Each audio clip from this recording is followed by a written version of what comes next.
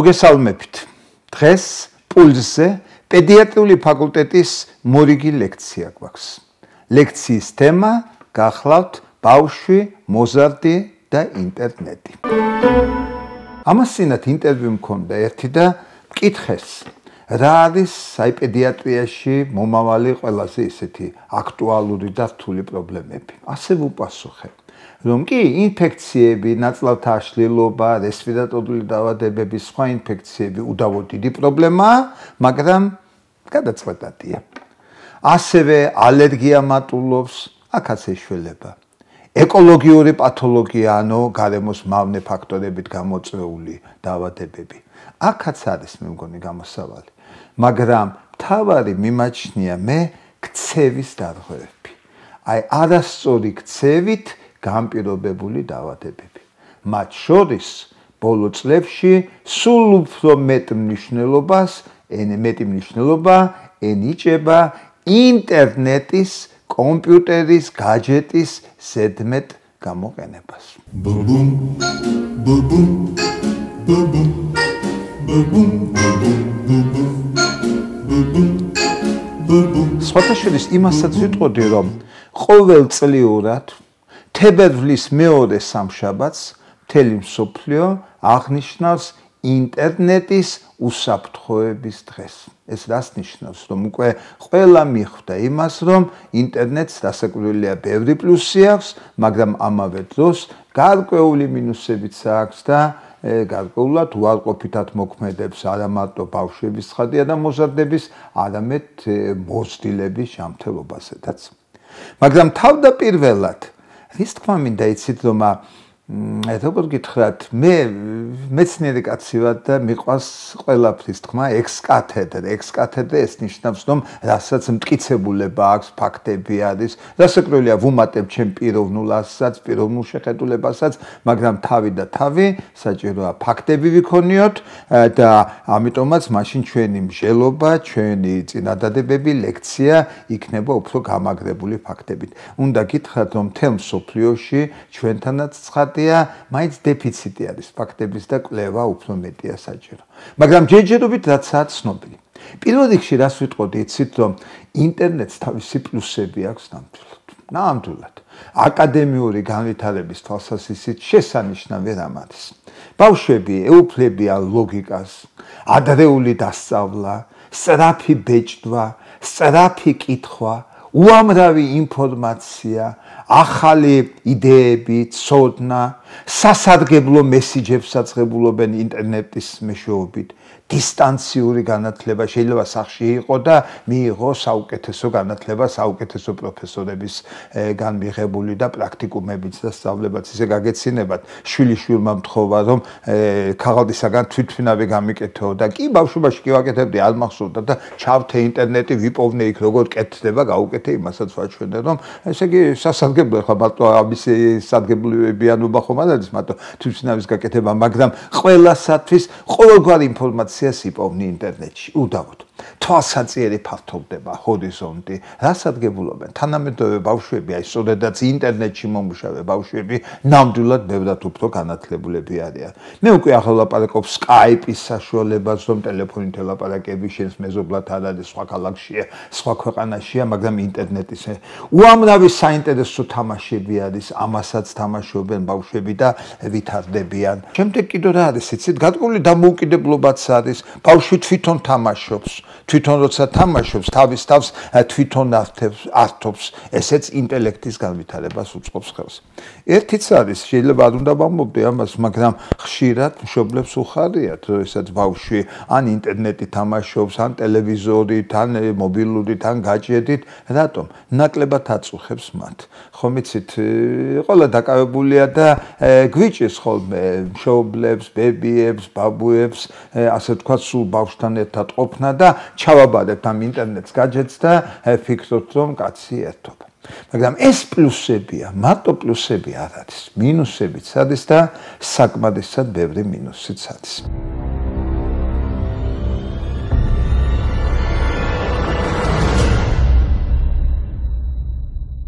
ეცეთ მე თეატრალი კაცი გახლავთ და მე მახსოვს ჯერ კიდევ ბაბუაჩების მაკაკი ფაღავას რამოდენმეჯერ წაუყვანი ვარ თეატრში და აი აკაკი ვასაძეც და აკაკი ხორავას მონაწილეობა ოტელოში ესეც მახსოვს და როგორც ძველი თეატრალი ტრადიციული თეატრალი ამას ვიტყვი იცით მაპატიო მსახიობებმა რეჟისორებმა ჩემი პირადული ასლი არის თავადი მაინც დრამის შინაარსი არის წარმოდგენის შინაარსი არის რაც გინდა ცუდად დაიდგას წარმოდგენა ოტელო მაინც ოტელო არის და ჰამლეტი მაინც ჰამლეტი არის. თუ შინაარსი არ ვადგა ეცეთ მაინც კარგი რამ ვერ გამოვა. რატომ ლაპარაკობ ამას? კონტენტი, ანუ შინაარსი ფრიად მნიშვნელოვანი რამ არის. და ინტერნეტში, კომპიუტერში, ინტერნეტში ცხადია, საკმარისად ხშირად არის 10 თუ ისე სასარგებლო კი არა, მავნე შინაარსიც არის. პირველ რიგში ეს ის როგორ გითხართ იცით აი მე არ ვიტყვი ახლა ყველაზე რაც ყველაზე მეტად მაწუხებს ეს არის ზოგჯერ კომპიუტერში ინტერნეტში რაღაც ქსელები არის რაღაც ბრძანებებია თავის მოკლის ასე ვთქვათ პროპაგანდა ხდება თვითმკვლელობის პროპაგანდა ხდება. და თქვენ წარმოიდგინეთ ჩვენთანაც ერთ-ერთ შემთხვევაში სხვა ქვეყნებშიც ბავშვები თავს იკლავენ ეს საინტერესოდ მიაჩნიათ.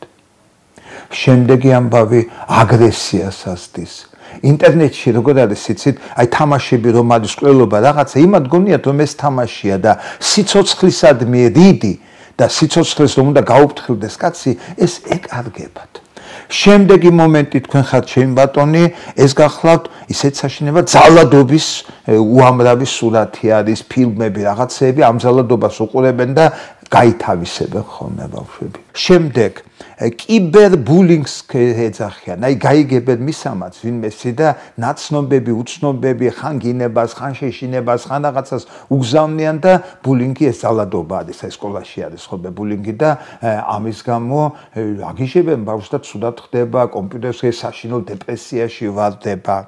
შემდეგ კიდევ რა არის? ზედმეტად მავნე რეკლამა.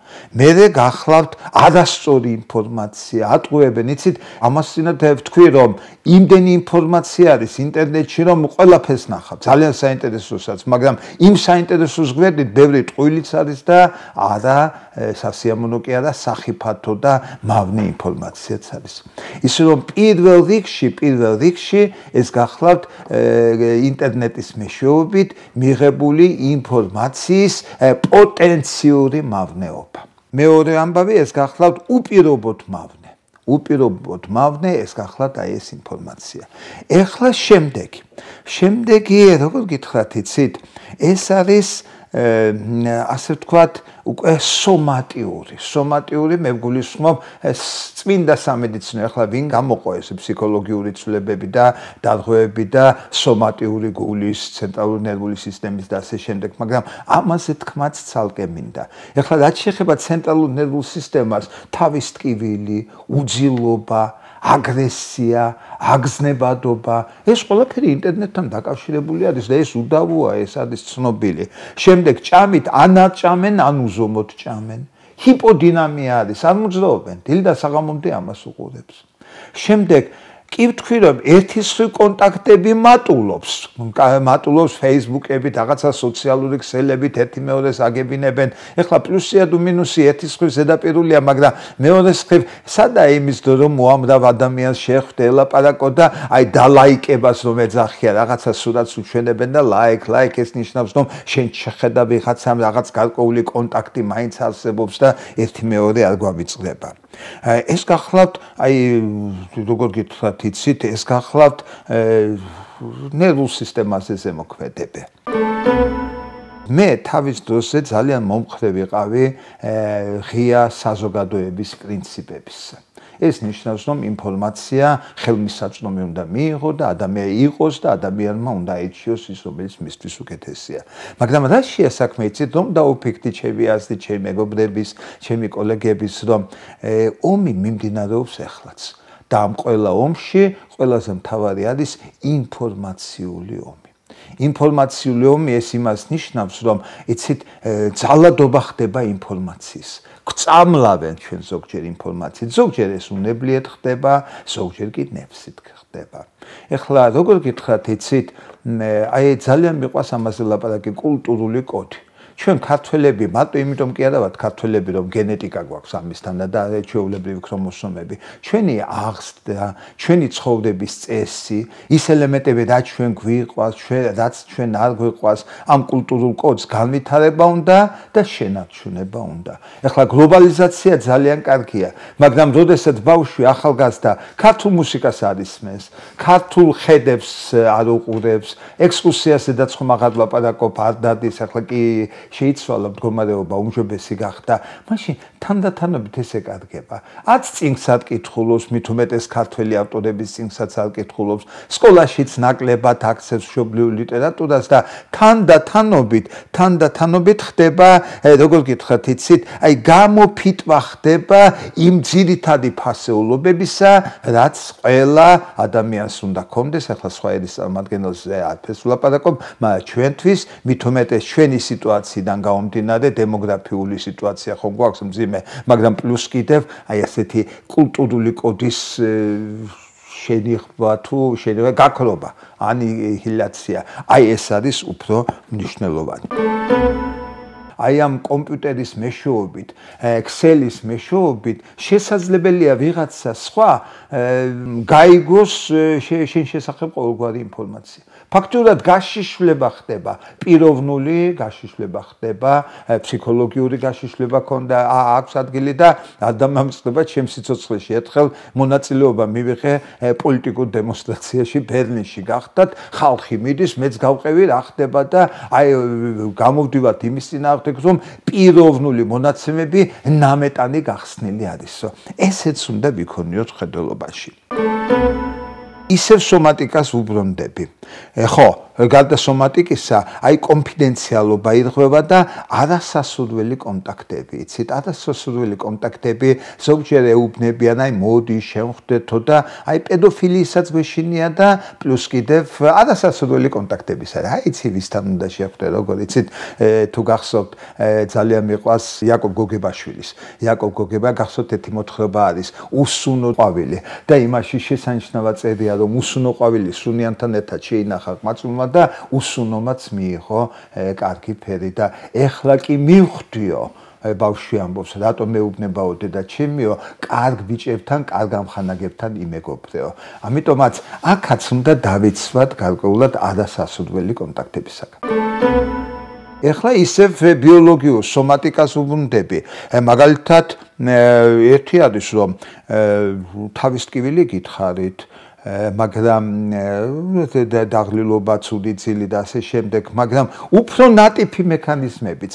სიამოვნებით მინდა თქვა, აღნიშნო, რომ ჩემი თანამშრომელი, ჩემი ასპირანტი გახდათ, ახლა შესანიშნავი ექიმი გახლავთ, ინგა მამუჩიშვილი, დისერტაცია დაიცვა ინტერნეტის ჭარბად ზედმეტად გამოყენების შედეგები და მისი ზეგავლენა ჯანმრთელობაზე. აი მაგალითად მან დაასაბუთა, რომ ვითარდება ოქსიგენური სტრესი, ესე იგი ჟანგბადის ასე ვთქვათ პროდუქტები, მავნე პროდუქტები გროვდება ორგანიზმში. სეროტონინი მცირდება, წნევა მატულობს, იმუნიტეტი ქვეითდება, ასეთი ადამიანები უფრო ინფექციები უფრო ადრე მართებათ, აპოპტოზი ვითარდება, აპოპტოზი როგორ არის, იცით ყველა უჯრედი ადრე თუ გვიან უნდა მოკვდეს, მაგრამ თუ უფრო სწრაფად ხდება, უფრო ჭარბად ხდება, ესეც უკვე დაავადების გარკვეული მაჩვენებელი არის. ყურადღების დარღვევა, მხოლოდ ამ თავის ინტერნეტშია და არაფერს აქცევს ყურადღებას. და მე კიდევ ერთი იცით, ძალიან დიდი მნიშვნელობა ენიჭება დროის ყაირათიანად ხარჯვას.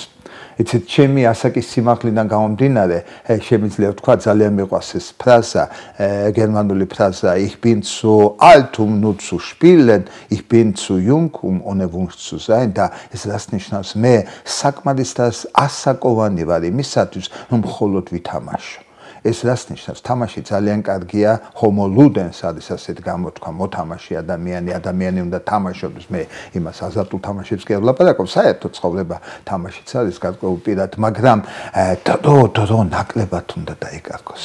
დროზე მეტი ფასეულობა არ არის და ამ ინტერნეტში ბახბუხ ეხლა ზოგჯერ კაი თამაშები არის, მაგრამ ზოგჯერ ისეთი სულელური თამაშებია და ეს არის აი დროის მოკლა და როგორ შეიძლება დროის მოკლა და აი მშობლებსაც მივმა მიმართავ ახალგაზრდებსაც, ბავშვებსაც იმდენი რამეა საინტერესო ცხოვრებაში და ბახბუხ და ამის თამაშებზე დროის დაკარგვა ნამდვილად არ შეიძლება. ეხლა ერთი ამბავი, როგორც გითხარით მე თქვენ, კარგიც არის, ცუდიც არის. მაგრამ რა გავაკეთოთ? რა გავაკეთოთ? რისი გაკეთება შეიძლება? მე ცხოვრებაში და მედიცინაში პრაგმატიკოსი კაცი ვარ და ყოველთვის მიყვარს აი პირველი და ხა დღესდღეობით რისი რჩევა შემიძლია მე. ჯერეთი ის რომ გითხრათ რომ არიქა ინტერნეტთან ნუ მიუშვებ ბავშვს ამას როგორ გეტყვით? შეუძლებელი არის. ჯერეთი შეუძლებელია და მე ისიც არის რომ მართლა საზიანო იქნება ბავშვისათვის იმდენად საინტერესო არის. ბევრი რამ ინტერნეტში რომ ამას ნუ მოუშვებ მაგრამ ერთი კი არის. ასეთი გამოთქმა არის იცით? ხელშეუხებელი ანუ წმინდა ძროხებიო რომელზედაც ლაპარაკი არ შეიძლება. ეხლა რა მაგის შედარება არის და მახსოვს სკოლის მოწაფე ვიყავი და სადღაც წავიკითხეს უკვე ხომ იცი თავისუფალი აზოვნების უფლება უკვე გვეძლეოდა მაშინ და სადღაც ამოვიკითხე მე და ჩემ ამხანაგმა რომ გიორგი სააკაძე ნუ გარკვეული გარკვეულად დამნაშავე იყო ქართული ისტორიის წინაშე და ერთ-ერთმა მასწავლებელმა როგორ ბედავთო თქვენ ქართველი ერის გმირის შესახებ ასე ლაპარაკსო. ჯერეთი ახლა ვამბობ რომ არ იყო ეს კაცი მართალი ხომ იცით.